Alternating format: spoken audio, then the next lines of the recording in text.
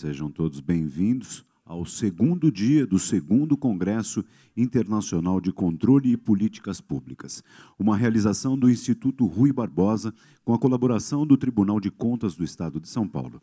Conta com os seguintes patrocínios: Companhia Brasileira de Metalurgia e Mineração, CBMM, Companhia Energética de Minas Gerais, CEMIG, Companhia de Desenvolvimento Econômico de Minas Gerais, CODEMIG, Governo do Estado de Minas Gerais e os apoios da Associação Brasileira dos Tribunais de Contas dos Municípios, Abracom, Associação Nacional dos Ministros e Conselheiros Substitutos dos Tribunais de Contas, Audicom, Associação dos Membros dos Tribunais de Contas do Brasil, Atricom, Cátedra Jean Monnet, da Universidade Federal de Minas Gerais, Editora Fórum, Universidade de Itaúna, Tribunal de Contas do Estado de Minas Gerais, Tribunal de Contas da União, Fundação Instituto de Pesquisas Econômicas, FIP e Faculdade de Direito da Universidade de São Paulo.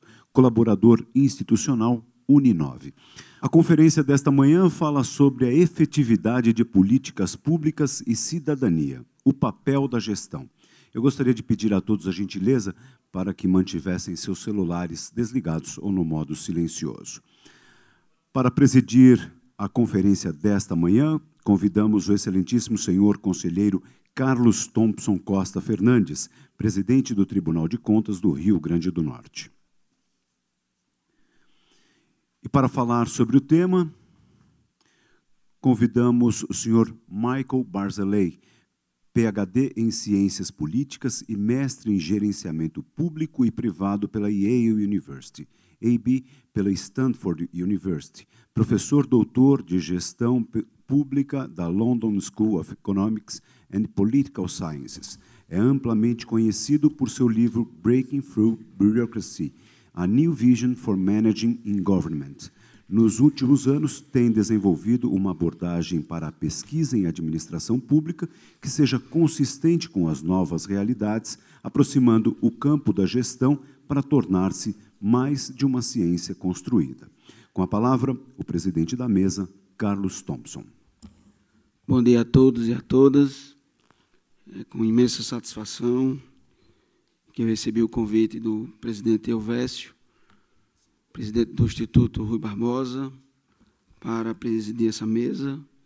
E aproveito a oportunidade para agradecer o convite e também parabenizá-lo pela organização do evento, juntamente com o presidente do TCE de São Paulo, conselheiro Dimas Ramalho, enaltecendo, sobretudo, a atuação do Tribunal de Contas do Estado de São Paulo e também do IRB na apresentação do IGM, produto extremamente importante que vem auxiliar os municípios brasileiros e também os próprios tribunais de contas no tema que hoje iremos tratar aqui, que é de gestão pública, o papel da gestão.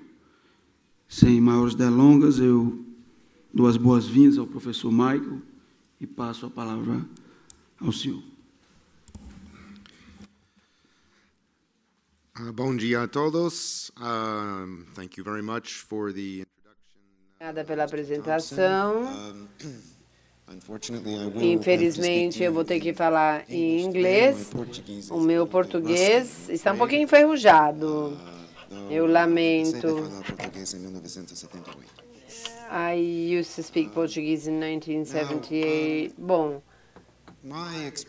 a minha experiência uh, na preparação desse evento é de notar que há um grande potencial para a compreensão mútua entre aqueles interessados uh, eh, no seu campo, incluindo a parte jurídica, finanças, a parte contábil. e o meu campo, como foi apresentado na introdução, eu lido com administração pública. E há formas diferentes de pensar sobre isso. Algumas pessoas pensam, bom, administração pública, outros pensam como administração pública. Eu sou o dos últimos. Eu considero a gestão pública ou administração pública, uma extensão do estudo da administração em geral e que entra no setor privado. Então, eu estou interessado na gestão, na administração, administração pública. Bom, tendo dito isso e de acordo com isso, a minha apresentação ainda não está aí na tela. Nós podemos começar aqui com a apresentação. Aí está. Ótimo. De acordo com isso, eu gostaria de sugerir que o conceito geral da sessão hoje é de começar uma conversa. Eu espero que eu não esteja fazendo um plágio do LinkedIn usando essa expressão de começar uma conversação. Infelizmente, eu não enxergo aqui atrás. Bom, quando a gente começa uma conversa. Será que eu consigo ver o que está na tela aqui, um monitor aqui na frente? Ah, ótimo, já está, isso vai me ajudar bastante. Eu comecei uma conversação cedo com o Sebastião, mas e eu estava no website do Instituto um tempo atrás. A gente nunca sabe quando você vai ser gravado e você vai ser mostrado. E eu acho que ficou claro que houve uma necessidade para uma gravação mas de uma certa forma precisava ter uma conversa livre, uma conversa anterior para que nós soubéssemos o, o fundamento intelectual da orientação de cada um de nós sobre governança e sobre gestão pública. Então, a essência da minha apresentação hoje vai ser de preparar o campo para uma conversa séria, preenchendo alguns dos fundamentos teóricos sobre gestão pública, que é um campo de estudo estudo, interessado na prática, mas um campo de estudo. E então eu vou repassar alguns conceitos básicos, também vou repassar uma ideia que eu chamo uma idealização da gestão pública como um campo de estudo. E eu suponho, ou eu vou escolher um ponto aqui, quando eu estou dando aula, eu sempre gosto de dizer para os meus alunos eu gosto de ensiná-los a ter uma boa reunião. Eu digo que a essência de uma boa reunião é saber qual vai ser o resultado que você está procurando da reunião, ou seja, o que, que vai acontecer. E nós vamos querer um resultado aqui, ou seja, eu gostaria muito que vocês assistissem os meus vídeos, porque pela primeira vez na vida eu peguei o meu uh, assunto, eu fiz os vídeos, repassando exatamente o que eu vou falar com vocês hoje. Então, durante os próximos 45 minutos, vocês podem considerar como se fosse um trailer para os vídeos. Ou seja, se você gostar do meu desempenho hoje, com certeza vocês vão gostar mais dos vídeos e vocês vão poder assisti-lo no conforto da sua sala de estar. Bem, uh, uma das formas de começar a falar com vocês é começar a perceber que há idealizações diferentes de diferentes aspectos da gestão pública por aí no mundo acadêmico e também no mundo profissional. E muito embora tem alguma sobreposição na terminologia, no conceito, na idealização. Isso, na verdade, não significa que todo mundo está falando a mesma coisa. Ah, na verdade, as pessoas podem estar falando coisas bem diferentes. Então, só para ilustrar esse ponto, eu fiz o download do que a gente conhece como nuvens de palavras. Eu espero que esse conceito traduza para português. E é isso que você obtém se você faz uma busca na internet sobre gestão pública. Você obtém várias palavras conhecidas e você já imagina como eles se relacionam entre si. É um sistema de conceitos coerentes entre si. Você pode fazer isso numa área especializada, no controle, na auditoria. O que você precisa fazer é olhar aqui a parte da frente do cubo e vocês podem ver que tudo isso se refere a funções importantes de controle, dentro de uma organização, dentro de um governo e dentro das diferentes partes do contexto. Você consegue entender a diferença entre controles soft, controles uh, hard controls, soft controls. É uma ideia coerente. Mas agora eu quero trazer vocês para o meu mundo de gestão pública, que já não é uma ideia coerente. Aqui, o que eu proporcionei para vocês é, são várias imagens que vocês vão encontrar na internet se vocês fizerem uma busca para gestão pública. Na verdade, se você olhar aqui a nuvem de palavras, as imagens aqui nesse composto de imagens aqui da web, vocês vão ver que a palavra gestão pública, na verdade, em si, não aparece. Então, você procura imagens e, na verdade, fica difícil achar uma imagem que representa gestão pública. Da mesma forma, o segundo slide é um ótimo exemplo dessa mesma ideia. Finalmente eu achei uma imagem onde os, as letras aumentadas são gestão pública. Você acha ali eh, na parte de baixo da direita e outro lugar onde essas uh, palavras aparecem é na capa de um dos meus livros, que foi, na verdade, muito gratificante de observar. Então, eu quero apresentar vocês ao meu campo, mas o meu campo não sabe se apresentar. Então, eu quero fazer uma apresentação formal do meu campo para vocês hoje. Para fazer isso, eu vou precisar, é, na verdade, interpretar isso da minha forma. Eu vou dar a minha versão do meu campo de trabalho. Uh. E tá, está aqui. Uh, Eu chamo, é uma idealização da gestão pública, porque seria muito bom se fosse assim. Como qualquer idealização, eu estou colocando tudo de uma forma muito positiva, em oposição à luz que teria se a gente eh, examinasse assim objetivamente. Isso aqui é a estrutura da minha apresentação em geral, e eu vou entrar no os conceitos específicos para vocês se familiarizarem com isso. Eu preciso dizer para vocês que nenhum desses itens representados por uma bolha, um, uma dessas bolinhas aqui individuais no diagrama é original. Você não ia querer que fosse original se você quisesse que as pessoas aceitassem.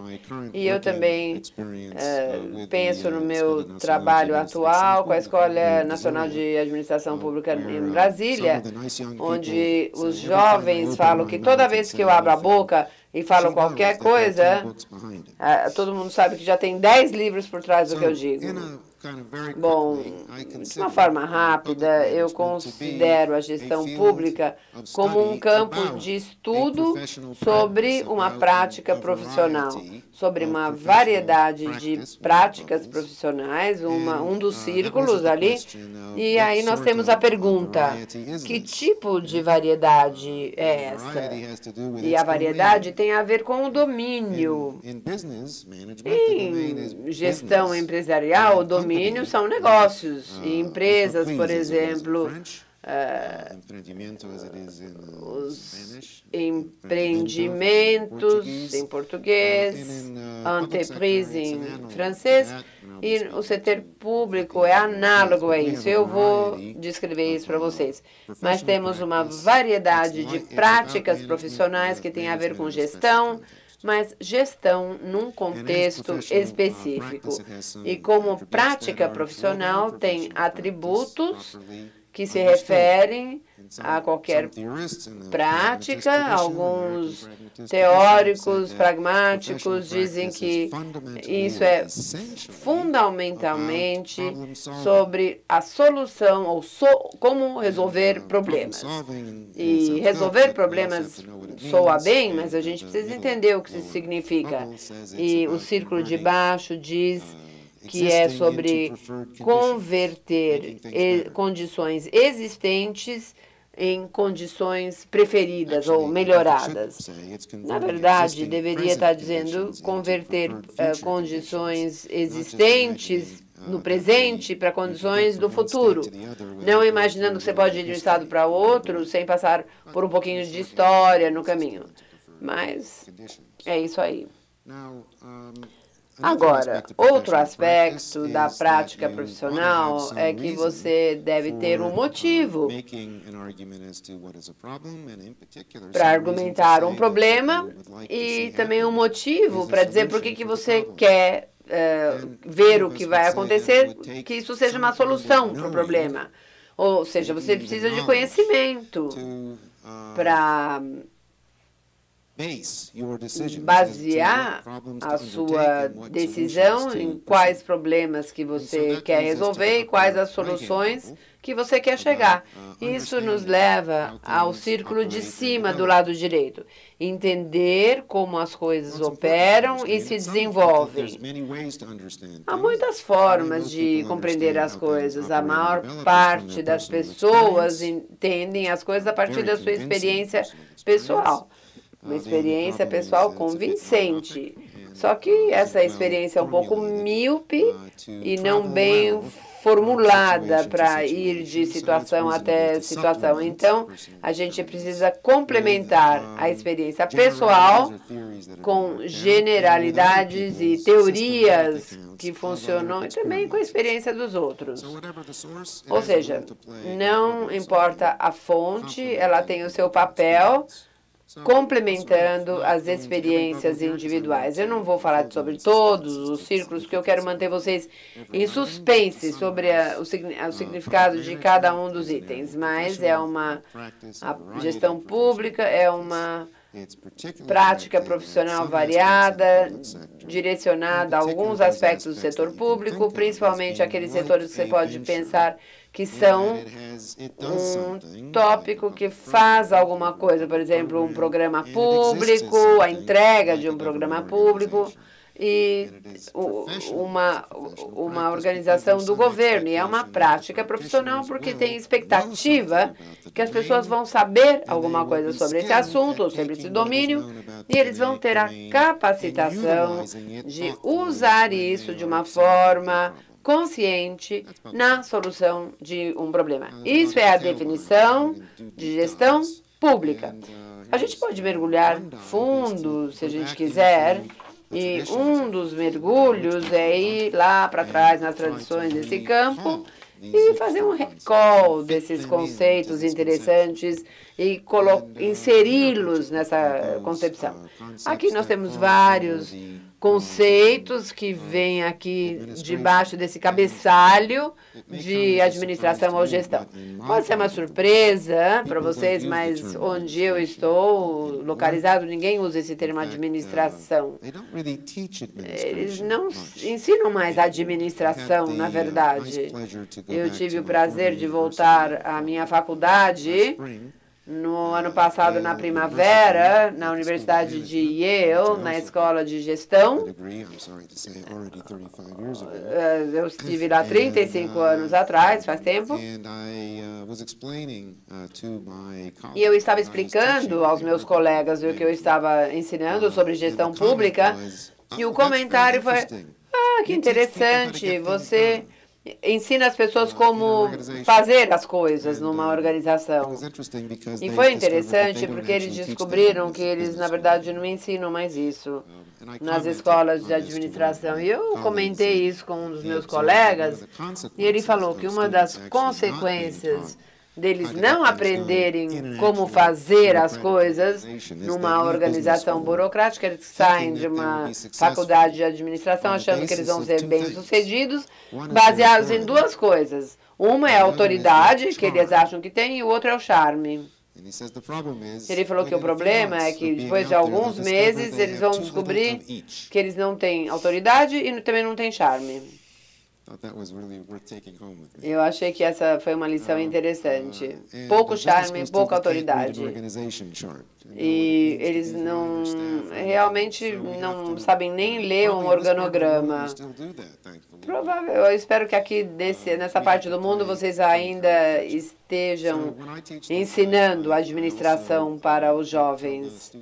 Eu também falo sobre a história dos pensamentos de um aspecto de administração, ou seja, o aspecto que tem a ver com a estruturação das organizações, com o que eu chamo de administração, organização, que é um atributo de qualquer programa público e qualquer uh, tópico nesse setor público. E a parte histórica é bastante interessante. Se você voltar e ver o autor, um turco, na verdade, que se transformou em francês, ele se chamava Henri Fayot. Quando eu apresento, eu sempre pergunto, quem já ouviu falar de Henri Fayot?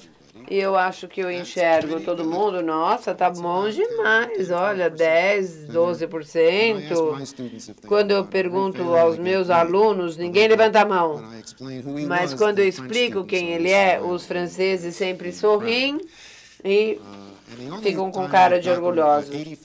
A única vez que eu recebi 85% das mãos levantadas foi quando eu fiz um aluno para os membros da organização do Partido Comunista, e eles conhecem ele bem. Bom, muitos de vocês sabem sobre as pessoas modernas que falaram sobre administração e falaram sobre planejamento, organização, relatórios, orçamentos, etc. Se você não sabe sobre isso, você pode assistir a um vídeo. Eu acho que em termos de lembrar alguma coisa sobre esse Henri Fayol, porque ele foi o primeiro a definir essas palavras num contexto mais amplo. E esse contexto mais amplo era que qualquer empreendimento tinha que fazer seis coisas. Quem sabe quais são essas seis coisas? Bom, vou dar uma dica. Administração é uma delas. Mas é uma só, ainda tem cinco outras coisas que é necessário fazer. Eu vou listá-las. Estão aqui em algum lugar ou outro e vocês vão encontrar. E fácil de identificar finanças, contabilidade, segurança. Finanças, a contabilidade e segurança. Eu encontrei uma versão uh, sobre isso. Bom, segurança. Não, na verdade, é a pessoa não. ninguém é, roubar da empresa. Então, isso era uma função de gestão e não é a mesma coisa que administrar, e é bom saber. Então, as origens de muito disso vem daqui. Depois tem as partes técnicas e comerciais, que tem a ver com uh, como isso acontece, gera alguma coisa que cria valor para os clientes ou outros interessados. Bom, é muito bom saber ah, o histórico do pensamento de tudo isso. Agora, toda essa parte de coordenação, direção, budget, etc., são elementos dentro da gestão. E é muito importante falar sobre isso, mas no, no contexto da compreensão de que a administração, segurança, tudo isso está aí para apoiar, para possibilitar a função primária da parte técnica e comercial. E se você perseguir, ou se você trabalhar com funções como contabilidade, segurança, finanças, é, em detrimento à parte comercial é, e técnica, provavelmente você não vai ser bem sucedido a longo prazo. E essas tensões entre esses, essa competição são que eu acho que todo mundo sabe. E isso pode ser uma forma de você entender exatamente o que isso significa em termos históricos e intelectuais. Agora vamos seguir adiante. Vamos falar sobre outra coisa no ramo, no campo das empresas. Uma das coisas sobre isso é que o que é análogo a negócios geralmente se chama programa, e isso se relaciona com políticas. Por exemplo, uma operação comercial é bem sucedida por causa do negócio, e no, público, no setor público é bem sucedido por causa dos programas que entrega, não só as características do programa como um plano, mas as características de um programa como um sistema operacional. Bom, então, provavelmente seja muito bom analisar essa ideia. Um dos livros que ajudam aqui são os funda, Fundamentos das Políticas, eh, Análise de Políticas, e ele menciona o nome dos autores desse livro. E eu vi, procurei o que eles falam sobre programas, e eu achei no rodapé 54. Foi o único local onde eu encontrei. Ou seja, a ideia é que programa é uma forma de implementar implementar uma política. E, e aí eles dizem que eles vão falar sobre esse assunto, mas não falam. Então a gente vai ter que complementar isso aí com outras ideias sobre programas. Bom, uma ideia muito popular para falar sobre programas, com certeza todo mundo já encontrou isso, é a cadeia de resultados. E isso está na caracterização de programas. E eu acho que a ideia é que o impacto de um programa vai gerar valor público. Se você quer relacionar esses conceitos é, para agregar valor, e eu acho que vale a pena pensar sobre é, é essa cadeia ter uma montante e uma jusante. E um aspecto importante é o relacionamento entre os inputs, as atividades e os outputs. E uma forma de pensar nesse relacionamento é que eles, os outputs ocorrem como um resultado do planejamento e depois a operação de alguma coisa como um sistema tecnológico, embora claramente nos seres humanos os seres humanos são parte desse sistema tecnológico de uma forma. Não é só uma lista de coisas que são inputs, não, são, não é só uma lista de coisas que são atividades ou outputs. Tem processos causais através dos quais os outputs acontecem como resultado da existência das atividades, como resultado da existência dos inputs. A melhor forma de pensar sobre isso é algum sistema tecnológico que está por trás disso. Isso pode parecer óbvio, mas para ensinar alunos que têm bebido o Kool-Aid da economia, eles não conseguem descrever um sistema tecnológico sem que a gente solicite para eles fazerem isso meia dúzia de vezes, da mesma forma que você tem que forçar seu filho a fazer a lição de casa. E aí a coisa sai. E eu acho que isso também é típico de alguns contadores, a não ser que eles realmente tenham eh, uma abordagem nesse tipo de atividade.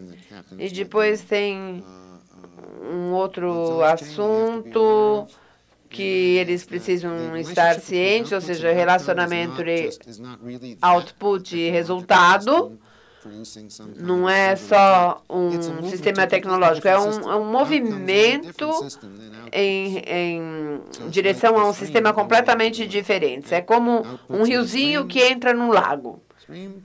Ou seja, o, o resultado está no lago, o output está no riozinho. Então, entra no lago, mas você vê, o rio e o lago é um sistema diferente. E você não vai é, mudar completamente a forma de pensar sobre esse, essa cadeia de resultados se você não souber sobre o relacionamento entre o sistema e o resultado. E tem uma outra coisa que é a questão onde está a gestão em tudo isso, pessoal? Bom, não está aí. Por que, que não está aí? Bom, porque se você voltar para o FEU, a única coisa que está aí é a atividade comercial e técnica. Tudo o resto está faltando. Tudo bem?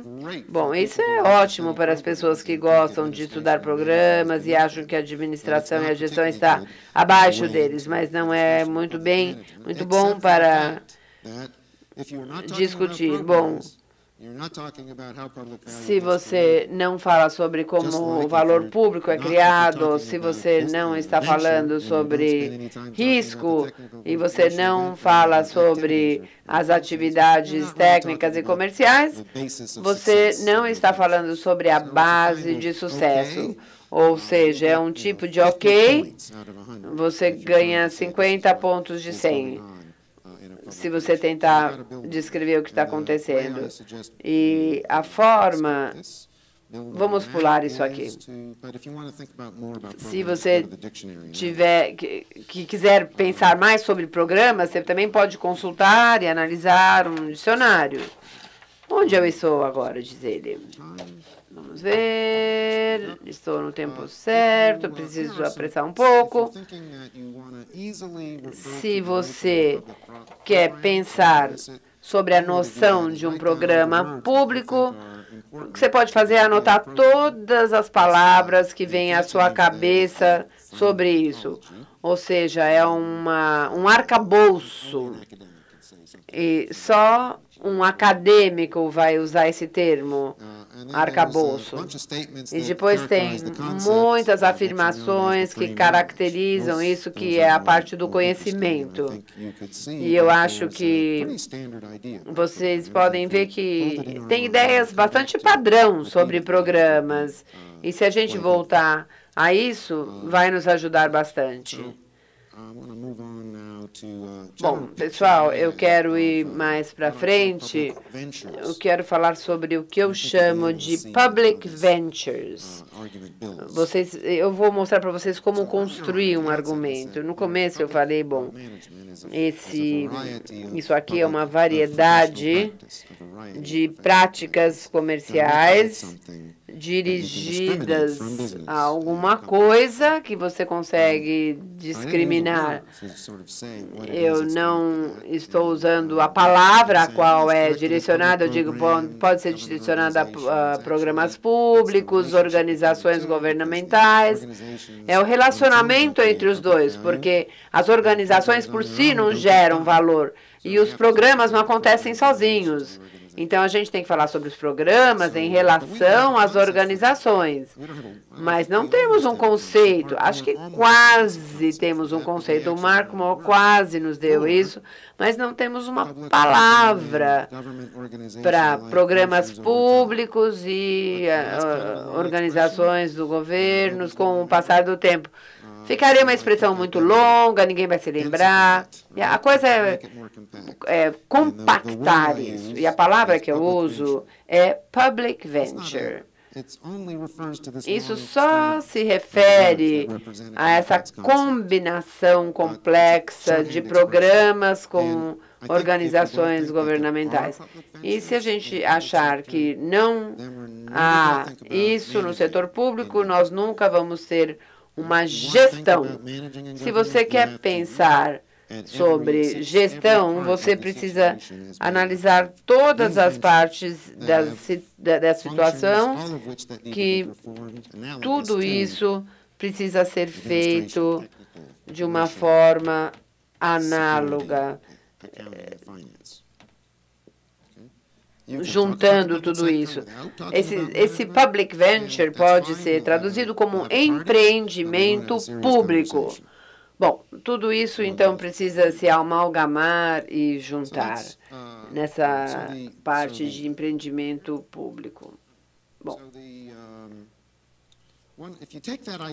se você gostar dessa ideia, aí agora você precisa aprofundar a coisa. A gente veio até a superfície, agora vamos mergulhar embaixo da água novamente, porque nós precisamos de uma forma para caracterizar programas e abrir espaço para as cadeias de valor, as cadeias de resultados e também inserir a gestão.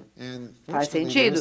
Infelizmente, tem é, coisas no, no, na literatura privada, é, já está aí é, há 30 anos sobre o Michael Porter, que fala da cadeia de valores. E eu acho que a gente pode ver que essa ideia da cadeia de valores nos oferece coisas que a cadeia de resultados não oferece. Se vocês olharem esse essa imagem icônica, esse diagrama aqui de uma cadeia de valor, de um value chain. A parte de resultados é a parte é, inferior, atividades primárias. E que está acontecendo tem é uma parte da gestão que está na parte de cima, chamada as atividades de suporte. A versão canônica é aqui, é que isso Uh, envolve sistemas de controle, uh, gest, uh, recursos humanos, compras, gestão de tecnologia. Você pode adaptar mas isso deve fazer sentido para você assim que você bater os olhos. Como eu falo para meus alunos, isso é uma outra versão. Essa é a versão da, da aula de gestão. E a outra versão era uma versão mais simples. Eu, o que eu quero fazer aqui é mostrar que a cadeia de resultados tem a ver com a parte da produção, a logística. E para fazer sentido, nós podemos voltar ao FAO. Se a gente conseguir mapear o FEOL para dentro dessa imagem, nós podemos ter certeza de que a gente está uh, trabalhando com essa tradição profissional intelectual antiga, que é conversar sobre gestão. Bom, aqui mais uma vez toda a parte de contabilidade e segurança, toda a parte de gestão, essa parte que é usada aqui para administração e a técnica tem a ver com essas atividades primárias. Aqui também se referem, eu acho, ao desenvolvimento de tecnologia e a procurement. Não são atividades de administração, são técnicas, não estão envolvidas diretamente na produção. Uh, Comercial tem a ver com vendas e serviços, não precisa se preocupar muito com isso. E os de cima o, a, fazem uh, o pacote de contabilidade, finanças e segurança, que são muito importantes para o sucesso de qualquer empreendimento público. Eu recomendo, eu vou passar super rápido por isso aqui, porque vocês podem ver o vídeo, que esse conceito de cadeia de valor do empreendimento é muito importante e quando você está tentando fazer uma conversão, você precisa mudar isso de uma condição X para aquela condição futura preferida.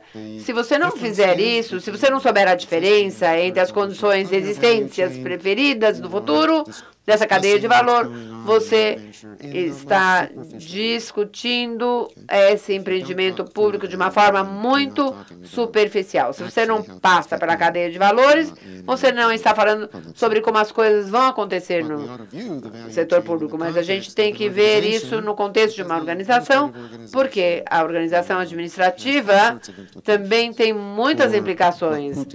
Por exemplo, quem é responsável pelo quê, como as decisões são tomadas, como a coordenação acontece, como as pessoas que estudam o design de organizações podem te falar. Se você não está familiarizado com uma ideia de uma cadeia de valor, de um empreendimento, você pode assistir o meu vídeo, para aprender todos esses conceitos. Eu também acho que você também deve considerar do lado esquerdo todos esses conceitos, quando a gente começar aqui com a configuração, desagregação, características tecnológicas, econômicas, inputs, output, todos são conceitos de um sistema e um sistema tecnológico que tem implicações econômicas.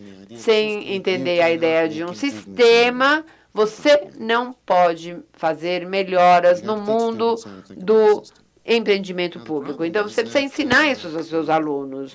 O problema, o desafio para nós é que não, aqui tem como pegar esses conceitos, anotar o que significam dentro do arcabouço.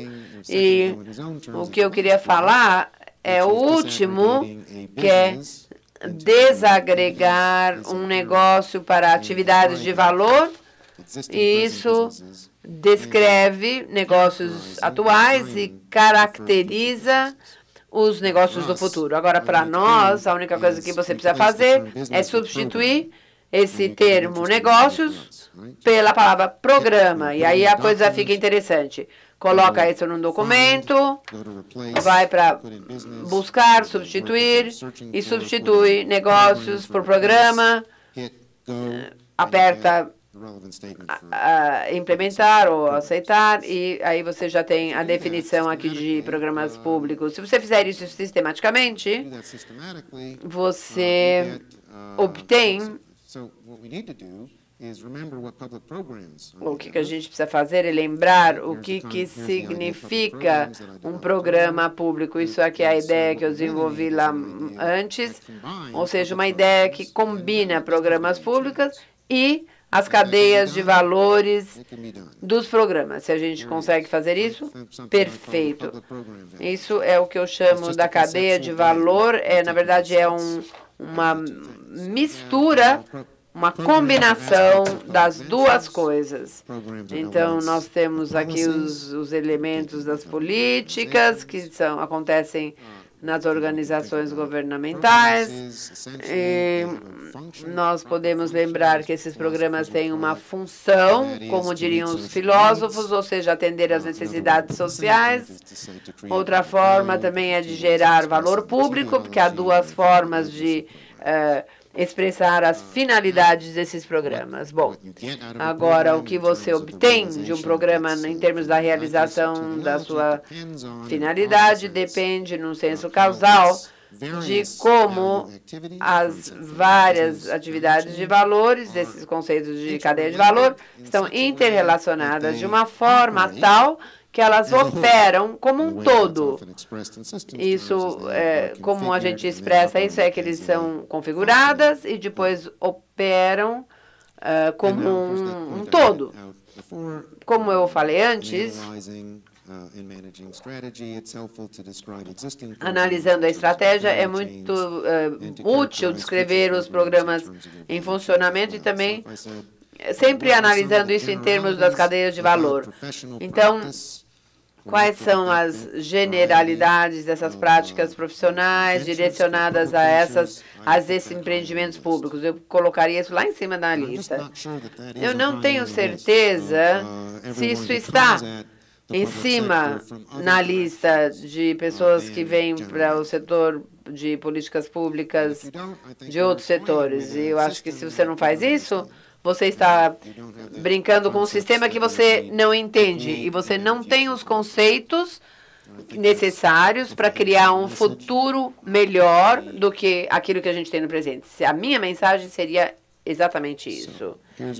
Então, aqui, mais uma vez, tem a minha idealização. Eu espero que vocês agora estejam conseguindo apreciar e estão se aquecendo, ou seja, é uma variedade de práticas profissionais dirigidas ao empreendimento público e inclui organizações governamentais que fazem com que a coisa aconteça. E quando é bem feito, é bem feito utilizando o que a gente entende sobre empreendimentos públicos, sua operação, seu desenvolvimento, coisas como esses conceitos que eu tenho examinado na palestra que eu estou dando hoje, mas a utilização desse conhecimento é na solução de problemas.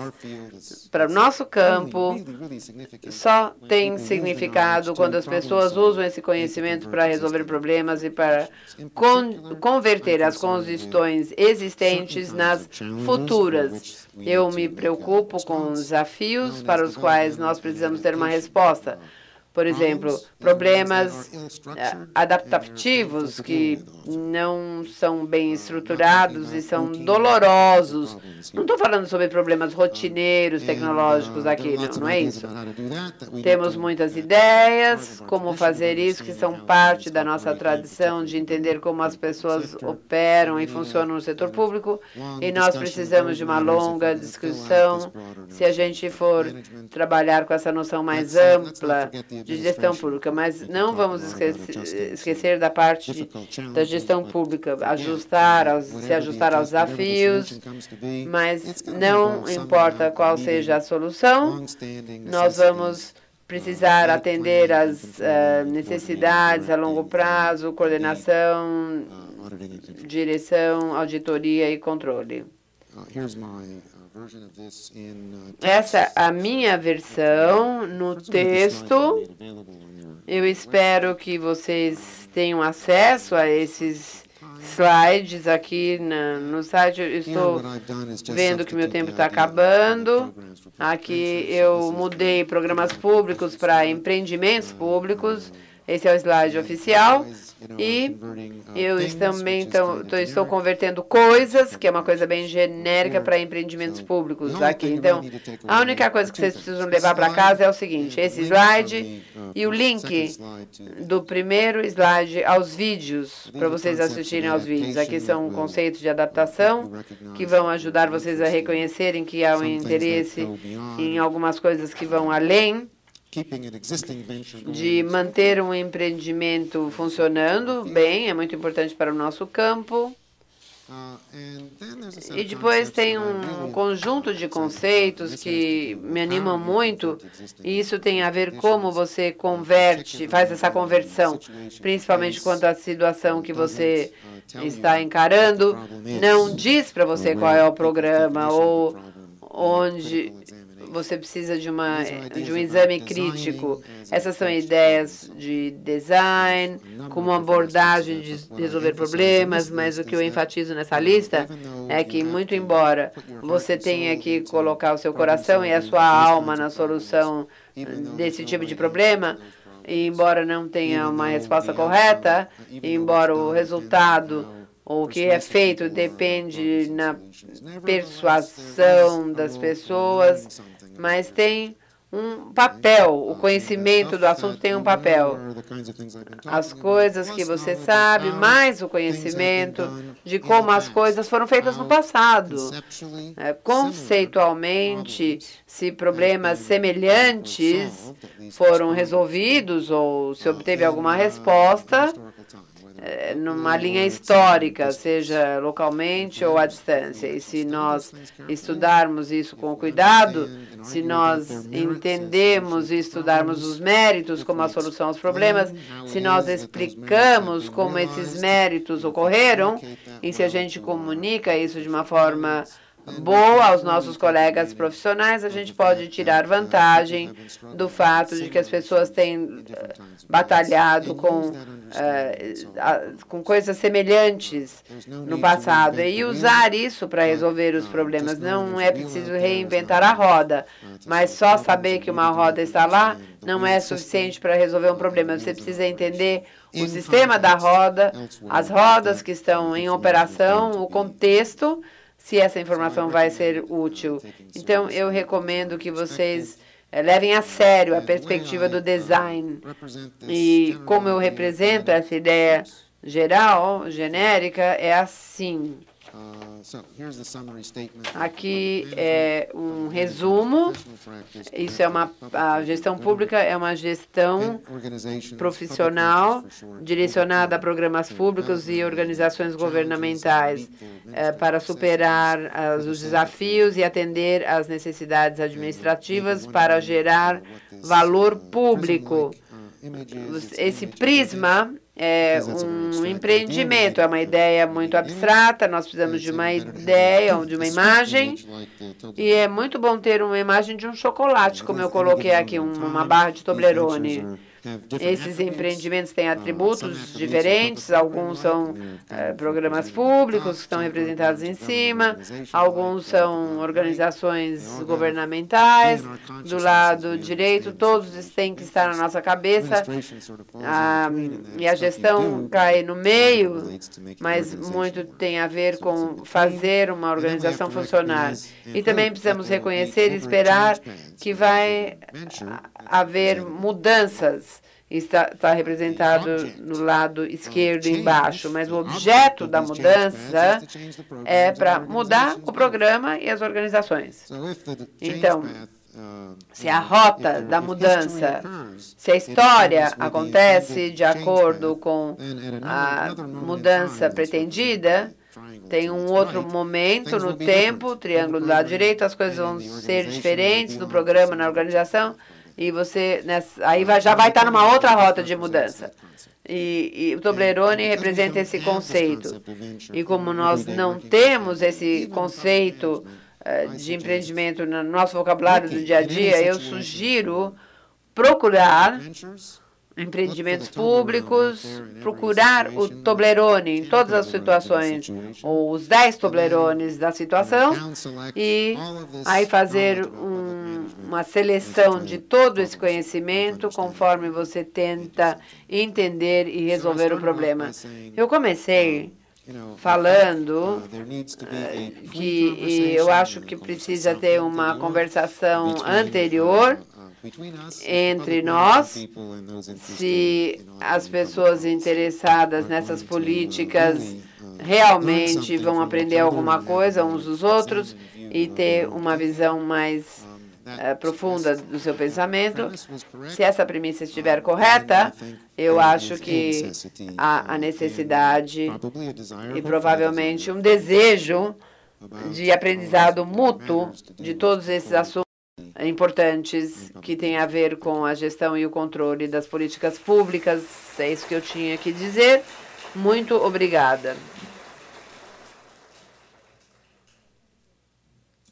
Queremos agradecer ao professor Maico pelas lições valiosas, enfatizando notadamente o, a obrigação, o dever de todo gestor público é, se municiar de práticas profissionais, ou seja, ter pelo menos ao seu redor pessoas que entendam da matéria que está sendo objeto da sua pasta, do seu plano de governo, para que nós não tenhamos administrações que apostam na sorte. Né? Ou seja, eu acho que a grande legado que o professor Maico nos deixa é justamente nós procurarmos, procurarmos termos, ter uma gestão pública profissional e eu fico a pensar como nós podemos empregar isso no Brasil, diante, por exemplo, do presidencialismo de coalizão, onde muitas vezes os ministérios são loteados sob a perspectiva eminentemente política, deixando um pouco de lado essa necessidade de uma gestão pública profissional. Eu agradeço ao senhor, professor, pelas lições valiosas e passo ao cerimonial. Agradecemos ao conselheiro Carlos Thompson e convidamos para que faça a entrega de uma lembrança ao senhor Michael. Eu gostaria de lembrar a todos que nos auditórios que temos no prédio, no auditório MASP, está, será realizado daqui a pouquinho, iniciará o painel Políticas Públicas e o Desafio no Orçamento Público. E no auditório Pinacoteca, o painel Objetivos do Desenvolvimento Sustentável. Esses painéis terão inícios a partir do momento que os senhores chegarem nos auditórios. Eles ainda não começaram. Em instantes, nós daremos início ao painel Políticas Públicas e Desenvolvimento Regional.